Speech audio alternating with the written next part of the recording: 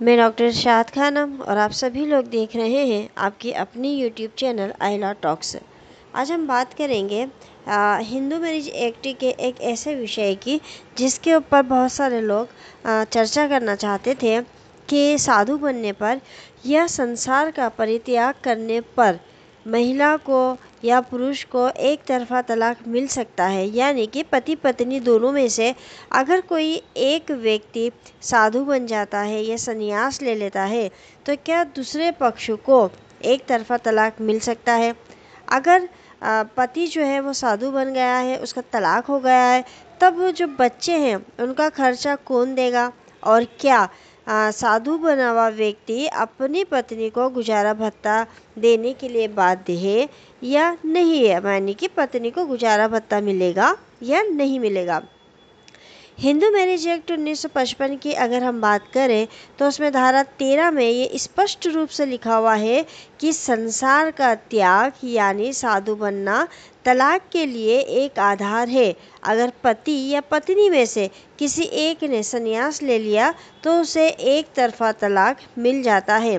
हिंदू विवाह अधिनियम 1955 की धारा तेरह की उपधारा एक ये कहती है कि इस अधिनियम के लागू होने से पहले या बाद में संपन्न किए कोई भी विवाह, पति या पत्नी में से किसी एक के द्वारा प्रस्तुत याचिका पर इस आधार पर तलाक की डिग्री द्वारा विघटित किया जा सकेगा कि दूसरा पक्ष। अब यहाँ में केवल आपको जो इस, जो बात हम कर रहे हैं, धर्म परिवर्तन करके और यह संन्यास लेने की, उसी के विषय पे उसी वाले पॉइंट को सिर्फ़ मैं आपको समझा रही हूँ। तो धारा तारा तेरह क्या कहती है कि जो ये अधिनियम लागू हुआ है, अगर इसके पहले किसी ने शादी की हो या इसके बाद किसी ने शादी की हो, इस अधिनियम के लागू होने के बाद दोनों ही कंडीशन में अगर पति पत्नी में से कोई एक भी याचिका कोर्ट में लगाता है और तलाक की डिग्री लेना चाहता है, किस आधार पर? तो इसकी सेकंड पॉइंट क्या कह रहा है? किसी अन्य धर्म में धर्मांतरण करके हिंदू नहीं रह गया हो, यानी उसने धर्म परिवर्तन कर लिया हो और वो हिंदू ना रहा हो और दूसरा, किसी धार्मिक संप्रदाय में प्रवेश करके संसार का त्याग कर दिया हो, यानी वह साधु बन गया है या सन्यासी बन गया है तो धारा तेरह के अंतर्गत इस आधार पर दोनों में से कोई भी पक्षकार जो है, वो तलाक की डिग्री जो है वो कोर्ट से एक तरफा तलाक की डिग्री जो कोर्ट से ले सकता है। अब साधु बन चुके पति का तलाक हो गया। तब बच्चे हैं तो बच्चों का खर्च कौन देगा? अगर ऐसी कोई सिचुएशन आती है तो बच्चों का खर्च पति यानी कि बच्चों का पिता देगा। जब तक बच्चा 18 साल का नहीं हो जाता, अगर बेटी है तो साधु बन चुके पिता को उसकी शादी होने तक का खर्च उठाना होगा। अगर कोई पति साधु बन गया और उससे कोर्ट से एक तरफा तलाक मिल जाता है तो पत्नी को गुजारा भत्ता मिलेगा या नहीं मिलेगा? तो ऐसे सिचुएशन में भी पत्नी को गुजारा भत्ता मिलेगा और उसको देना पड़ेगा। अगर उसकी शारीरिक कंडीशन अच्छी है और वो इस हालत में है कि वो अपने बच्चों का और पत्नी का खर्च उठा सकता है तो संन्यास का त्याग करने के बाद, साधु बनने के बाद भी उनको भरण पोषण देना होगा।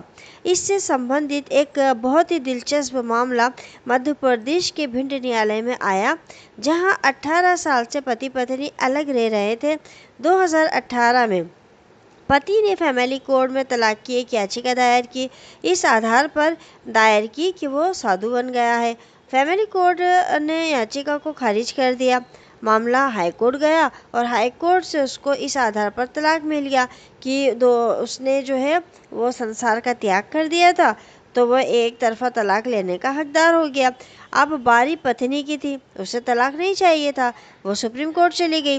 18 अगस्त 2022 में सुप्रीम कोर्ट ने हाई कोर्ट द्वारा दी गई तलाक को खारिज कर दिया। अब तलाक को खारिज करते वक्त सुप्रीम कोर्ट ने तर्क क्या दिया? सुप्रीम कोर्ट ने यह कहा कि कई बार ऐसा होता है कि महिलाएँ जो हैं, वो शादीशुदा होना समाज के दृष्टिकोण से उनके लिए बहुत ज़रूरी होता है कि वो शादीशुदा दिखे। वह पति से अलग रहते हुए भी उसके नाम के सिंदूर के सहारे अपनी ज़िंदगी काट सकती है। इस मामले में खुद महिला शादीशुदा रहना चाहती है तो इन दोनों बातों को ध्यान में रखते हुए दंपति के तलाक को जो है सुप्रीम कोर्ट ने रद्द कर दिया है। तो अगर आ, ये एक बहुत ही रोचक मामला था जो कि साधु बने हुए व्यक्ति से संबंधित था।